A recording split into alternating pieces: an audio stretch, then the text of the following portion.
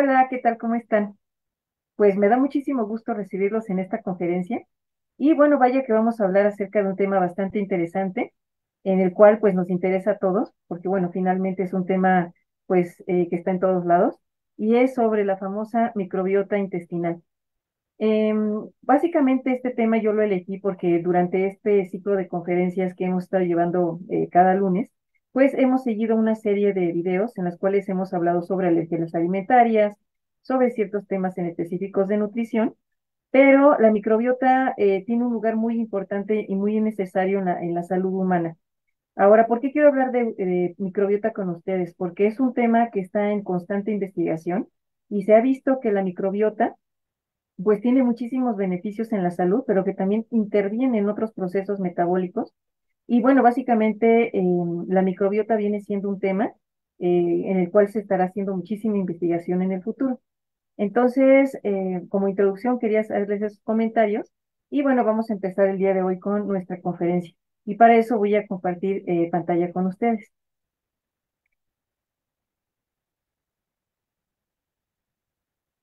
Bien, entonces, como bien les, les comenté de forma introductoria, pues vamos a ver eh, qué es la microbiota intestinal y cuál es la importancia en la salud de niños y adolescentes. Bueno, para que entendamos esto, eh, la microbiota humana anteriormente se le decía flora, flora humana o, microbiota, o se le decía la, la flora microbiana, etc. Pero la manera correcta de decirlo ahora es microbiota intestinal porque microbiota significa que existe un gran conjunto de bacterias que están viviendo con nosotros y que nos van a aportar eh, beneficios a nuestra salud. Indudablemente dentro de la microbiota intestinal eh, no solamente se van a encontrar las bacterias que tienen ciertas características en específico, pueden encontrarse incluso virus y algunos otros, eh, digamos, microorganismos no deseables. Pero en este caso, lo que vamos a hacer es hablar sobre esa microbiota saludable que nos va a proporcionar diferentes propiedades en la salud. Entonces, em, hablando y retomando este punto, pues este conjunto de bacterias va a estar viviendo con nosotros de manera simbiótica. ¿Qué significa esto? Bueno, pues que vamos a estar viviendo juntos todos, bacterias y esas, esos microorganismos, y nos van a aportar beneficios, que ya más adelante eh, vamos a hablar. Las bacterias se encuentran en todas partes de nuestro cuerpo, en los ojos, en la boca, en el ombligo, en los pies, en las axilas, en los lugares donde a ustedes se les ocurra, vamos a encontrar bacterias. Y una manera de saber que tenemos bacterias es teniendo mal olor. ¿Ok? Así es la presencia, así es como detectamos la presencia de esas bacterias porque las bacterias se van a alimentar de ciertos ácidos grasos que nosotros tenemos en la piel. De eso se va a alimentar las bacterias que tenemos nosotros en la piel o en el ombligo. Y cuando estas bacterias se alimentan, pues también van a producir desechos, así como nosotros producimos desechos, pues las bacterias también. Y esos desechos son los que muchas veces huelen y a veces esos olores son desagradables. Pero bueno, eso nos está indicando que tenemos bacterias. Y bueno, asimismo, pues estas bacterias también las vamos a encontrar en el intestino. Y bueno, pues esto es muy importante porque esta microbiota se ha visto en los últimos estudios que tiene una gran relación con diferentes sistemas del cuerpo. Bien. Ahora, ¿por qué quiero hablar de esto? Porque entre la etapa infantil y la etapa de la, adolescencia existe un gran número de enfermedades gastrointestinales. Es decir, eh, regularmente tenemos eh, pequeñitos o pequeñitas que se quejan de dolores de estómago, dolores intestinales o incluso tienen también cuadros de estreñimiento, digamos, crónico. Aquí en esta gráfica podemos ver eh, que los síntomas que regularmente tienen los pequeños, pues incluyendo el estreñimiento, algunos pueden tener también algo que se llama meteorismo, o es decir, que se empiece a tener mayor movimiento de, del intestino, que eso también se le llama peristaltismo. Y bueno, pues esto es bastante molesto porque los, los niños se están quejando regularmente de esto y algunas veces esto sucede porque tal vez la dieta no es alta en fibra, falta agua o la dieta es insuficiente en ciertos eh, nutrimentos. Pero bueno, lo que quiero comentar con esto es que estas enfermedades son muy comunes en la etapa infantil y también se arrastran a la adolescencia. Ahora, la idea de esto es que tengamos nosotros conciencia de estos problemas eh, gastrointestinales y que se puedan resolver lo más pronto posible para que en la etapa adulta no se arrastren esos problemas y pues tengamos adultos jóvenes con síndrome de colon irritable o con algunas otras patologías que incluso ponen eh, en riesgo la calidad de vida del paciente. Entonces, por eso es que desde la infancia tenemos que fijarnos en saber determinar qué es lo que necesitan eh, nuestros niños, pero también procurar que la alimentación sea adecuada para que nosotros podamos resolver estos problemas y no se arrastren en una etapa más adulta. Entonces, eh, como ya les he comentado, pues la diversidad de la microbiota es muy amplia. Eh, podemos encontrar eh, que la microbiota puede estar, digamos, puede tener algunas ciertas influencias, inclusive del ser humano, es decir, que existe una variabilidad genética en que cada persona tiene cierta cantidad de bacterias, pero las bacterias o la microbiota vienen siendo como una huella digital o algo que nos identifica específicamente. O sea, eso significa que entre los seres humanos podemos eh, compartir ciertas bacterias. Entre nuestra familia podemos eh, compartir ciertas bacterias, también entre grupos étnicos, pero lo que significa es que hay cierto grupo de bacterias que siempre nos va a identificar o va a ser personalizada. De tal forma que la alimentación, por eso, a veces eh, la alimentación regularmente tiene que ser también personalizada, porque las bacterias también tienen cierta forma de alimentación y de comportamiento muy específico dependiendo de cada ser humano. Entonces, una de las cosas es que también la microbiota eh, puede, digamos, estar relacionada o se puede ver afectada la salud de la microbiota con diferentes, em, digamos, factores.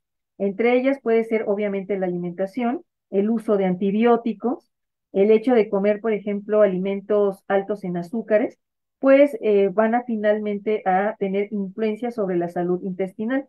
Bueno, la idea de esto es que estos alimentos se limiten porque finalmente van destruyendo poco a poco esta microbiota.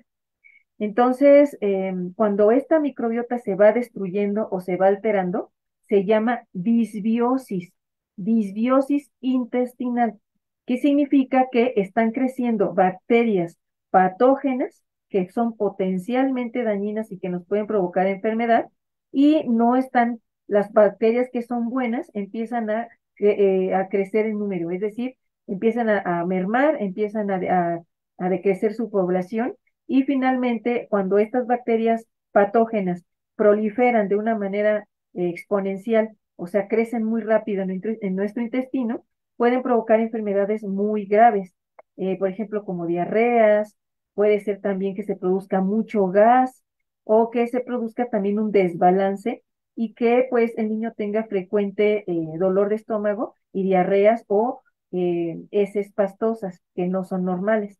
Y bueno, pues como forma introductoria, pues vemos que la alimentación es lo más importante que necesitamos para que esta microbiota sea saludable. Ahora, eh, ¿qué es lo que ha pasado con la microbiota? Ah, bueno, en esta foto quiero, en esta figura quiero demostrarles que existen varios factores externos que van a provocar que esta microbiota tenga un desbalance, o sea, es decir, una disbiosis. Por ejemplo, el hombre primitivo tenía una alimentación muy específica consumía principalmente tubérculos, raíces, consumía mayor cantidad de almidón proveniente de eh, raíces porque la producción de fruta, eh, bueno, era escasa, y bueno, lo que podían consumir también eran bayas o frutas silvestres.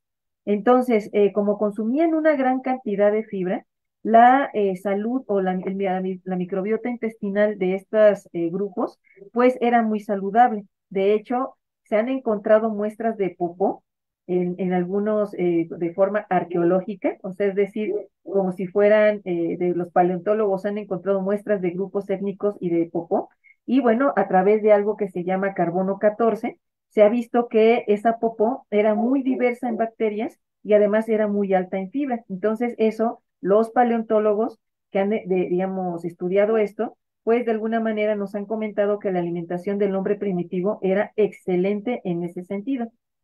Bien, en ese, en ese entonces, eh, este tipo de, digamos, de población tenía obviamente ciertas patologías, pero tenía una cantidad de bacterias muy diversas, o sea, era una cantidad de bacterias muy diversas que podían convivir de forma simbiótica con el ser humano. Pero a partir de que empieza a existir la modernización, o sea, es decir, a partir de todos esos cambios, eh, la agricultura, los nuevos asentamientos y sobre todo también a, partir de la eh, industrialización, industrialización de la dieta, entonces lo que pasa es que se empiezan a producir, por ejemplo, harinas refinadas, eh, mayor producción de azúcar, importación de azúcar de, las colonias, es decir, en Europa se empieza a importar azúcares, etcétera, y empieza a haber también una gran producción de alimentos chatarra. Entonces se ha visto que eh, el hecho de haber cambiado la dieta drásticamente, bueno, eh, bueno, ir cambiando paulatinamente la dieta, pero drásticamente en el sentido de introducir más alimentos altamente inflamatorios, pues provoca que esta microbiota se muera.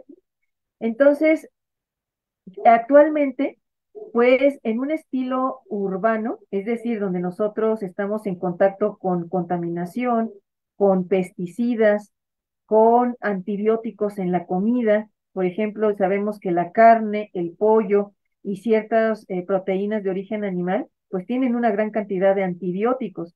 Los lácteos tienen antibióticos, entonces esas mermas de antibióticos que están en esos, o trazas que están en estos alimentos, pueden destruir también las bacterias benéficas y de, y de esta forma producir lo que yo les vengo comentando, que es la disbiosis.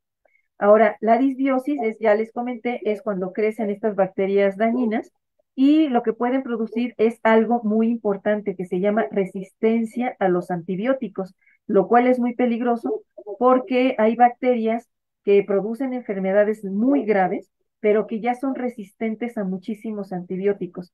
Por eso es que se está pretendiendo que en las carnes o en los productos de origen animal o en los lácteos, pues mínimamente se usen los antibióticos porque estos crean resistencia contra bacterias que finalmente se llaman bacterias supermutantes o superresistentes. Eso significa que no va a haber ningún antibiótico que las pueda matar y eventualmente pueda matar al paciente. Entonces, una manera de ir, digamos, combatiendo esta resistencia es llevar una alimentación altamente, eh, digamos, llena de antioxidantes y consumiendo frutas y verduras y fibra. Y sobre todo manteniendo a raya, eh, consumiendo carnes que tengan, eh, que no tengan antibióticos en su producción. Ahora, también se ha visto que el hecho de tener una disbiosis intestinal puede también orillar a que se pueda producir obesidad o también resistencia a la insulina, porque las bacterias van a interactuar con diferentes células que nosotros tenemos en nuestro cuerpo. Y bueno, aquí la cuestión también, muy interesante, es qué también lo que le vas a dar a tu bebé en cuanto nazca, porque la leche materna es la mejor opción porque está lleno de eh, bacterias benéficas que pueden también mejorar la salud intestinal del bebé. Entonces, esto es bastante interesante en lo que se está estudiando. Ahora, como yo les comenté también, pues aquí estos son los nombres de algunas familias de bacterias que nosotros tenemos en nuestro cuerpo. Entonces, eh, como yo les comentaba, pues vamos a tener una gran cantidad de bacterias, por ejemplo, en nuestra boca, abajo, bajo de las axilas, en nuestro, en nuestro intestino y bueno, pues en los ojos incluso también se pueden encontrar y en la zona genito urinario. Lo principal es que cada bacteria esté en su lugar, o sea, es decir, que no contamine otros espacios. Lo, la idea de esto es que la salud, digamos, de la microbiota o del ser humano implica en que cada grupo de bacterias estén en ese nicho sin contaminar otras áreas. Por ejemplo, hay algunas bacterias que se encuentran en la boca que pueden contaminar la zona genitourinaria. O hay algunas bacterias que se encuentran en la piel, como el estafilococcus aureus, que es una bacteria ubicua. Ubicua significa que se encuentra en todas partes, pero puede contaminar o provocar lesiones muy graves en, muy graves en la piel si existe una cortadura. Entonces, por eso es que hay que tener cuidado de lavarse las manos y de usar ciertas medidas de higiene para que nuestras bacterias habiten en el lugar que les corresponde y de esa manera mantener la salud de los pequeñitos. Recordemos que los bebés tienen la costumbre de llevarse las manitas a la boca o los niños incluso o morderse las uñas y esa, costumbre puede provocar también que haya un cambio en la microbiota intestinal. Ahora, ¿cuál es eh, la relación de la microbiota intestinal con la salud? Bien, ya lo comenté, tiene que ver con la salud intestinal. Podemos evitar el síndrome de eh, colon irritable o la enfermedad inflamatoria del intestino, obviamente haciendo ciertos cambios. Y lo más interesante también es que se ha visto en estudios en adolescentes que cuando tienen una disbiosis o una microbiota dañada, pudiera ser que estos adolescentes puedan tener alguna situación de ansiedad o depresión o que se exacerbe.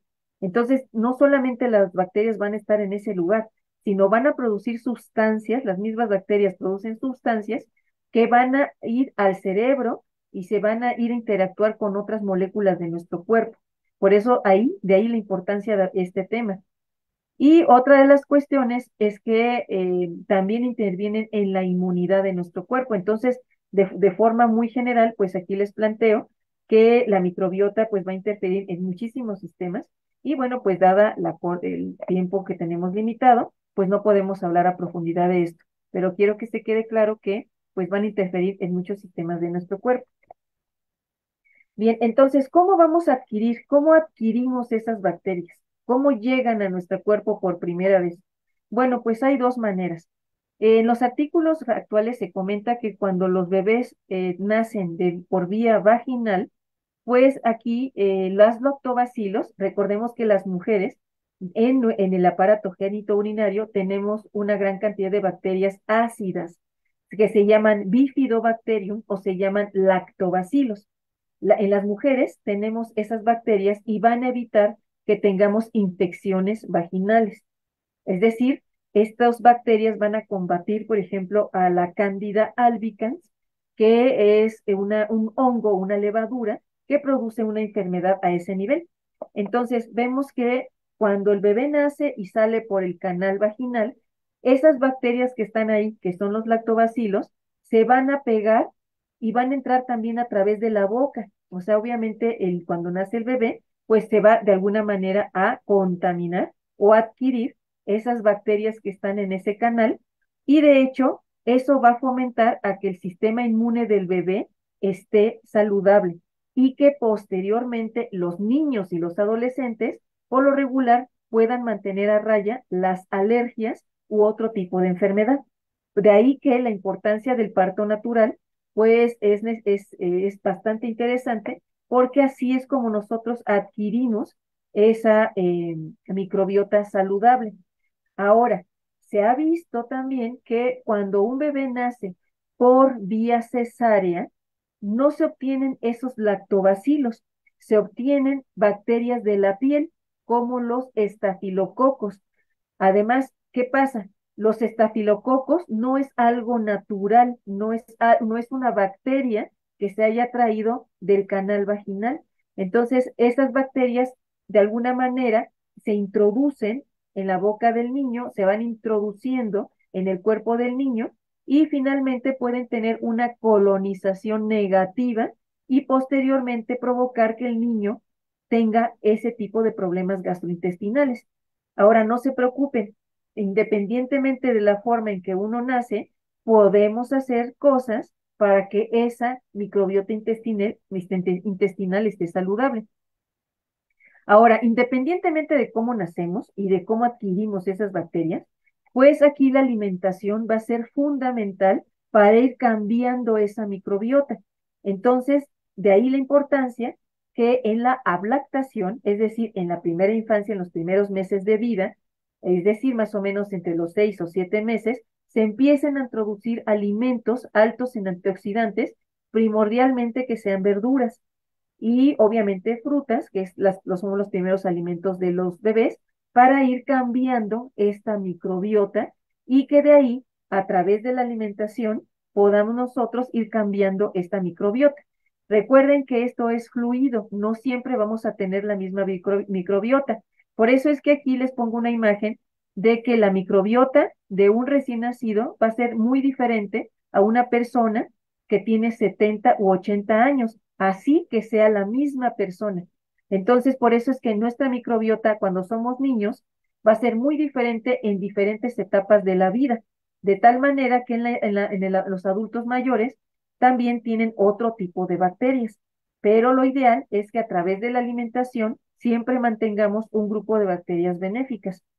Y bien, otra de las cosas en esta ilustración es que también, digamos, el amamantar al bebé con leche materna, pues estamos ahí dando una gran cantidad de bacterias benéficas, pero también la leche materna tiene ciertas características especiales. En este caso, pues la, la leche materna tiene cierta cantidad de azúcares muy específicas y también cierta cantidad de proteínas, y estos azúcares van a alimentar a esos lactobacilos o esas bacterias benéficas. Ahora, lamentablemente, bueno, sí se ha visto que la leche que viene, por ejemplo, la leche, la leche que se reconstituye o que es una leche especial para los bebés cuando no puede existir el amamantamiento natural, lo que va a pasar es que la leche sí es muy alta en azúcares. Cuando uno lee la etiqueta de la leche de los bebés, de la leche que viene, los botes para darles a los bebecitos, cuando no toleran la lactosa o no toleran las proteínas de la leche de vaca, sí vemos que la configuración de las leches por lo regular son muy altas en azúcares. Eh, también eh, pueden provocar a la larga que el bebé pues desarrolle alergias posteriormente. Entonces, bueno, lo primordial, según las investigaciones, es que pudiera fomentarse la lactancia materna y en el caso de que no se pueda, bueno, sí dar estos sustitutos, pero tomar en cuenta que en cuanto el bebé pueda consumir alimentos, eh, digamos, ya sólidos, se le dé la mejor alimentación posible para ir cambiando la microbiota. Entonces, esto pues es fascinante. Lo de la microbiota es una, una cuestión fascinante.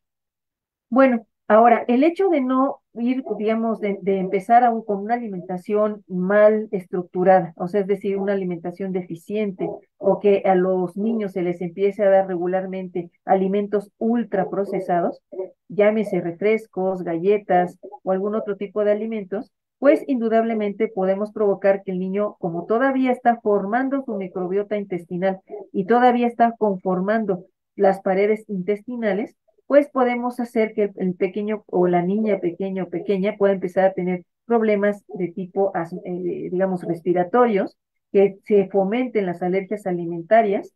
Eh, hay algunas veces que por una microbiota o por una disbiosis infantil se pueden también tener, podemos tener pequeños que tengan infecciones frecuentes de la garganta o eh, infecciones respiratorias y bueno, que finalmente también tengan otro tipo de alergias más severas.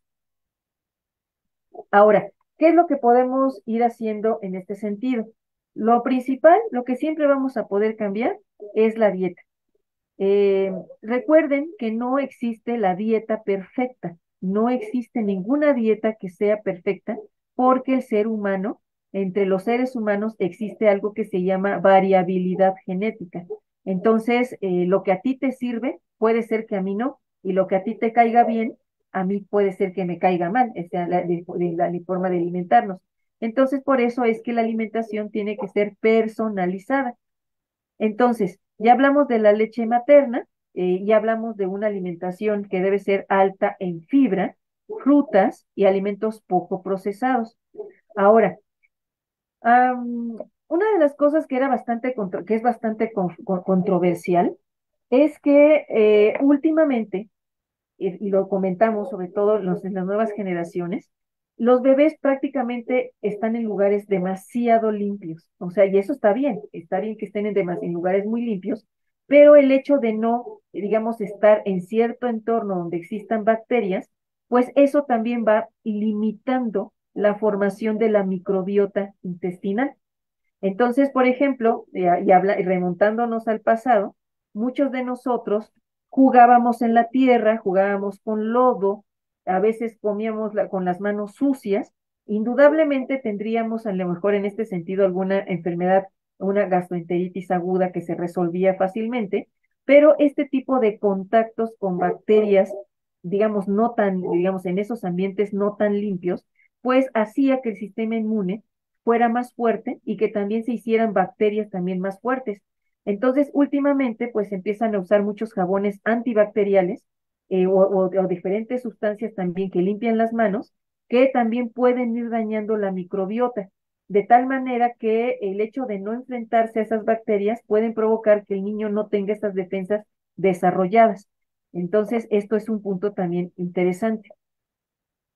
Em, bien, entonces, al hablar de esto, pues vamos a ver que todo lo que nosotros comamos, pues también va a tener una influencia sobre el sistema inmunológico, a su vez agarrado de la parte de la microbiota intestinal. Ahora, ¿qué nos van a dar las bacterias? ¿Por qué son tan importantes? Bien, voy a explicar esto.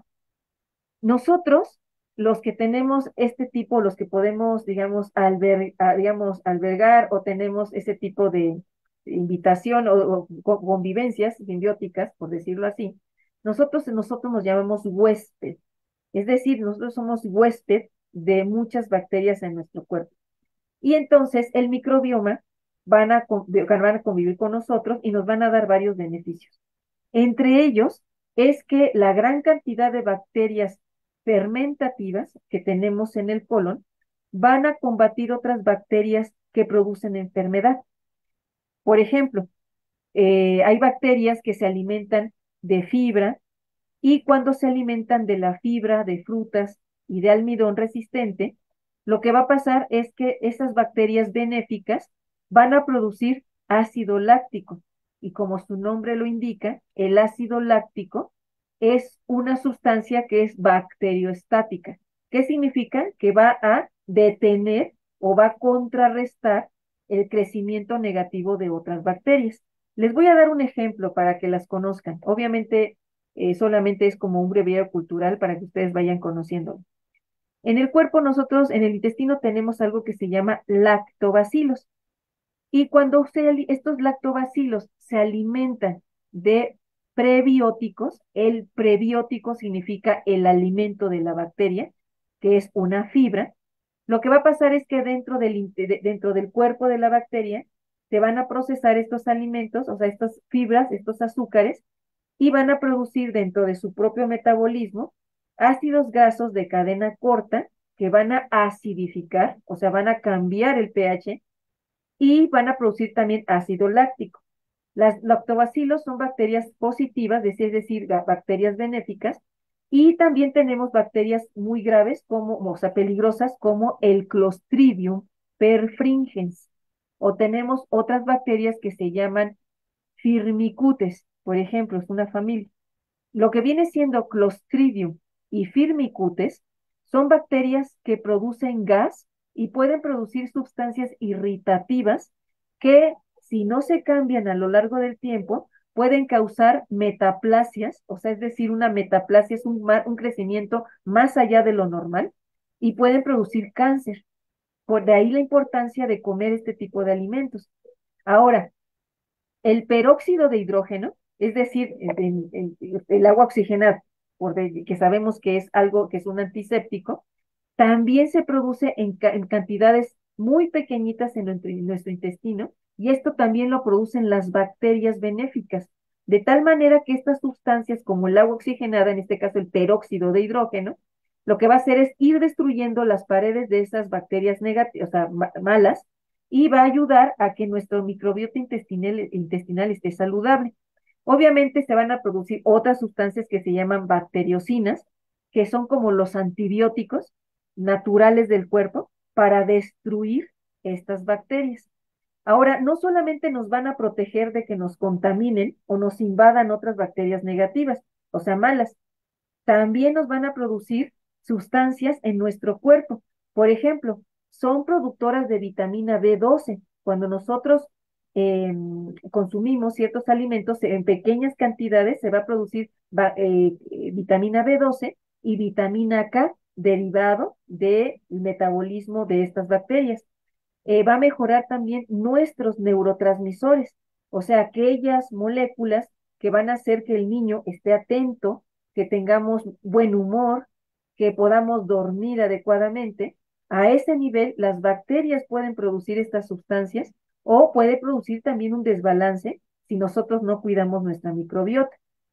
Y otra de las cosas es que estas bacterias van a interactuar con todo nuestro sistema. Entonces, si se dan cuenta de una manera muy, muy general, pues les puedo explicar que la manera en que nosotros y las bacterias eh, vivimos tenemos una relación simbiótica positiva y pues eso es lo que tenemos que lograr eh, con el tiempo.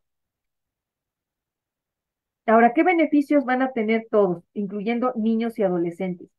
Bueno, pues lo que va a pasar es que si nosotros tenemos una eh, microbiota intestinal saludable, es decir, cuando nosotros comemos un plato de brócoli, cuando comemos coliflor o, o alimentos de hojas verdes, como las espinacas o las acelgas, vamos a fomentar que estas bacterias crezcan y puedan producir también dentro de, dentro de nuestro cuerpo antioxidantes que destruyen radicales libres.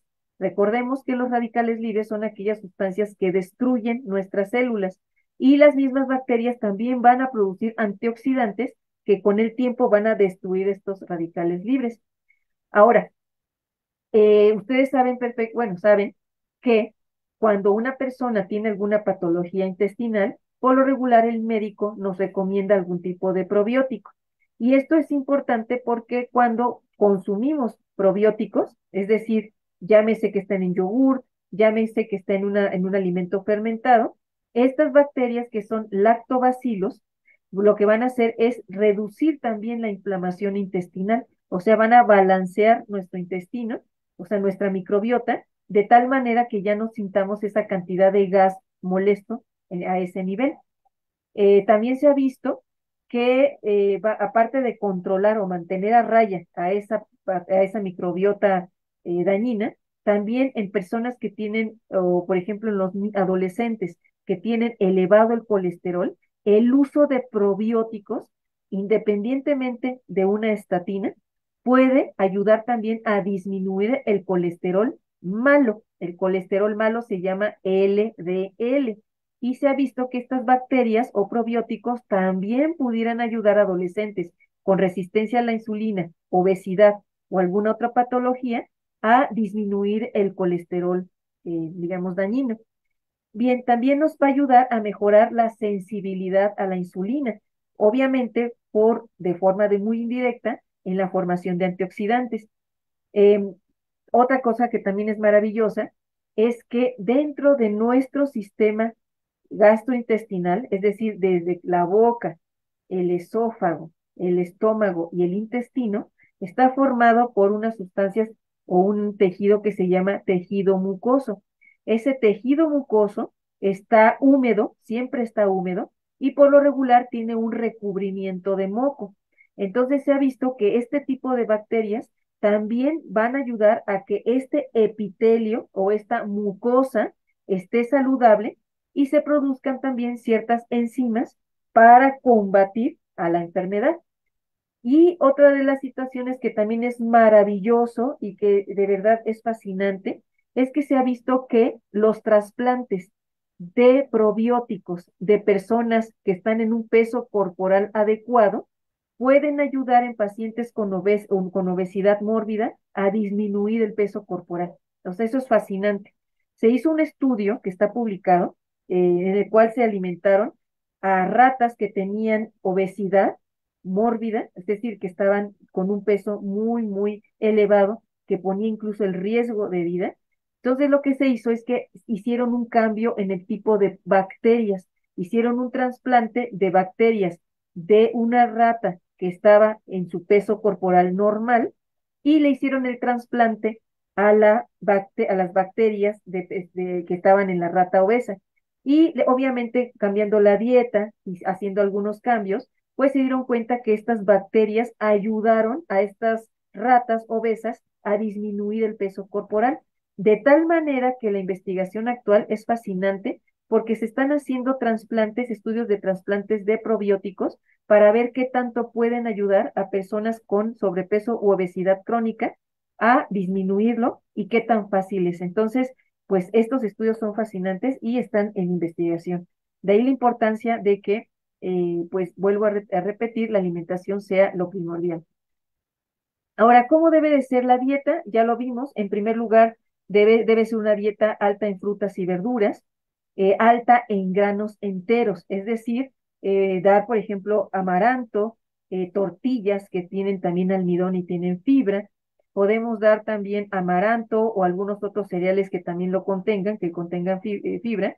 Y sobre todo, preferir aquellos productos de origen animal que tengan grasas saludables, por ejemplo, como el pescado, las sardinas y como siempre lo comento en las conferencias, los benditos charales porque los charales, a pesar de que es un pescadito muy pequeñito y que es eh, muy barato, es una bomba de fitonutrientes y además tienen grasas muy saludables que van a alimentar también a nuestras bacterias benéficas. Y sobre todo también tratar de consumir alimentos fermentados, aquellos, por ejemplo, como el yogur, el kefir o algún tipo de queso también fermentado. Por ejemplo, en algunos países de Europa ahí se consume algo que se llama el chucrut o col fermentada. Entonces, esa, cuando esa eh, col fermentada se le introduce también a la alimentación infantil, pues vamos a ver que van a tener un balance a un tipo de bacterias, eh, digamos, benéficas. Aquí lo que podemos preparar es una ensalada de col o una ensalada de rábanos, algún tipo de, eh, por ejemplo, también puede ser brócoli, podemos prepararla un día antes. Le podemos poner limón, aceite de oliva y guardarla en el refrigerador, de tal manera que durante la noche se va a producir cierta cantidad de fermentación. Eso nos está indicando que ya hay crecimiento bacteriano. ¿Cómo nos vamos a dar cuenta? Porque al destapar el, el, el topper, pues va a tener un olor muy fuerte, va con un olor sulfuroso. Eso significa que ahí ya las enzimas están actuando pero también indica ya una fermentación y una producción bacteriana.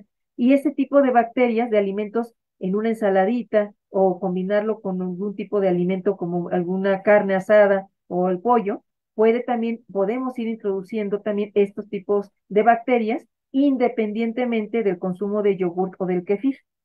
Y sobre todo evitar todo lo que viene siendo la azúcar agregada, los aditivos, porque los colorantes es de los em, aditivos que más destruyen la microbiota. Entonces hay que tener mucho cuidado y sobre todo también ese tipo de colorantes, eh, que bueno, eh, los colorantes ahí sí tenemos una situación muy específica porque sí se ha visto que destruyen la microbiota intestinal. Y sobre todo también evitar a toda costa las bebidas azucaradas. Entonces, bueno, como ya habíamos visto, pues los probióticos son las bacterias de las cuales ya hablé y los probióticos es los prebióticos vienen siendo el alimento de las bacterias, o sea, llámese fibra.